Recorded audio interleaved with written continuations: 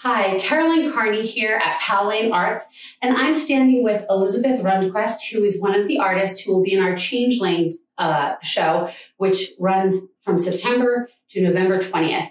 Uh, Elizabeth, could you introduce us to your piece? Sure. Um, this is called A ampersand V, and it's um, well, it's about two of my great granddaughters, and these are poppies, and um, my first great granddaughters, and um, there's a lot of emotion in it. I'm a very emotional, intuitive painter, but I'm always paying attention to composition as well.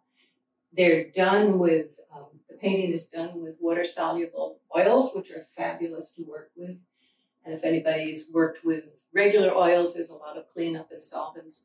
The water soluble is just water, and you wash it, and you can thin it with water, and it's just I said, fabulous to work with. so I get a lot of pleasure out of choosing the colors, and when I work, I choose four or five colors. Um, right now, I'm in love with raw umber and burnt umber and raw umber, and I mix it with other colors.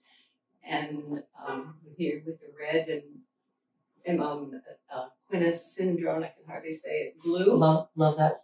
Love, love that, that word, right? Yeah. Right? Quinacridone. Quinacridone. And that's a, a modern color.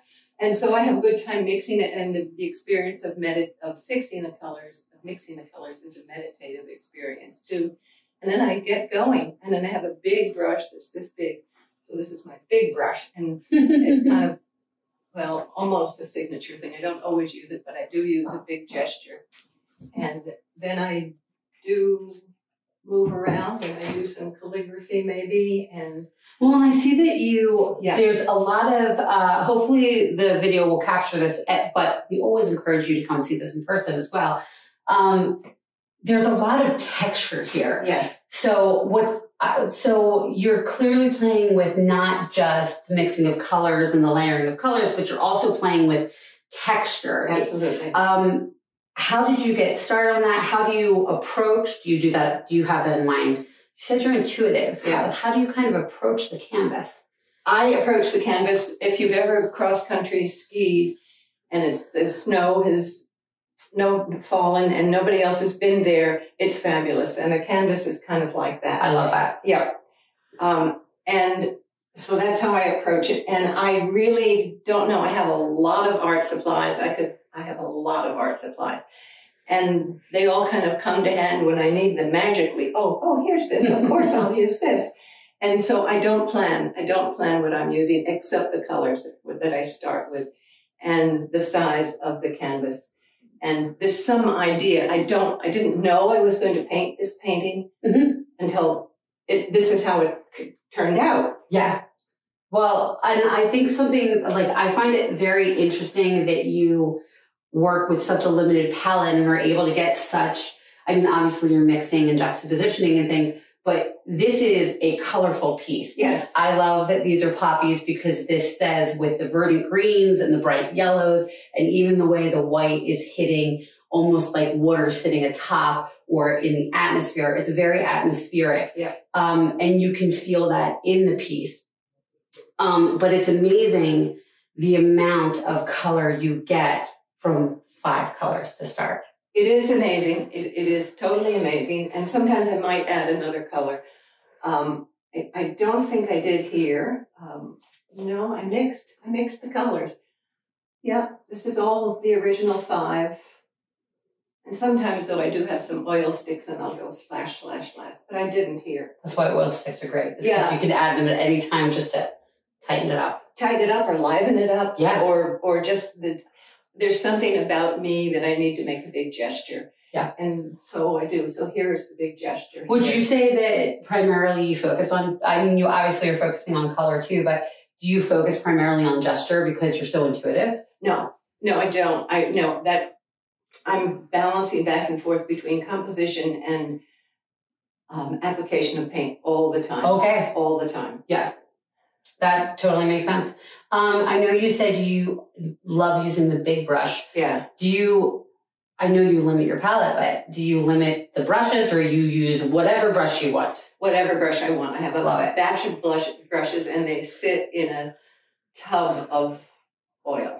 so I have to take them out of the tub of oil so they're always on and wipe them off. And I think, oh, why don't I do? Why am I doing this? But I keep on doing it anyway. and um, Well, now it's your thing. And I don't know, maybe for now, for now it may not, it may may not re- retain. I don't know, maybe maybe yes, maybe no, I don't know.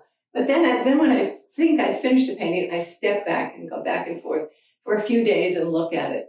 And then when I look at it for a few days, and often I think it's done, and I think it's all done, and then I look and I think not done, and then I don't know what to do, and I think, oh God, it's ruined. What am I going to do? So I, just, yeah, yeah, yeah. I'm a, a songwriter, so I, I feel that very deeply. Yeah, yeah, it's part of the process, and I've learned it's part of the process. Yeah. So then I just calm myself and I sit and I look and I, oh, that's what it needs. And then finally I think, done. Yeah. Yeah.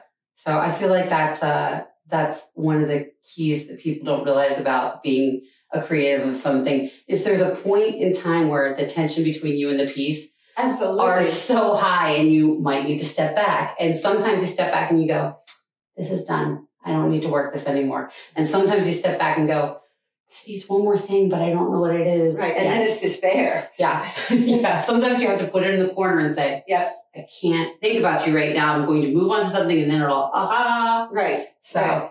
when a viewer looks at this, uh, what do you, I, I feel like a lot of times paintings are either a story or a conversation. They, they are an interactive experience with the viewer. When the viewer approaches this and is looking at it, what do you want them to see and take away from it? Oh, thank you.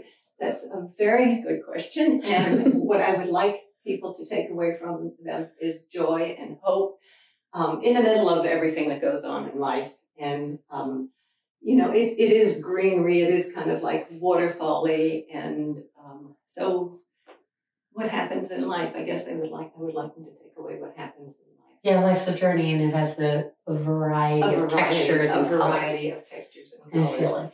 But we still keep going on. Yeah. So pretty heavy stuff. But anyway, that's But also pretty, pretty light too, because you're capturing something ephemeral yes. that uh, hopefully somebody can take with them. Hopefully, Yeah. hopefully, So- hopefully. Yeah. Well, I appreciate you uh, talking with us, and we're so glad to have Elizabeth in our Changeling show, which will be running now through November 20th. So I do hope you'll come and see the show. I think it will be a very good show.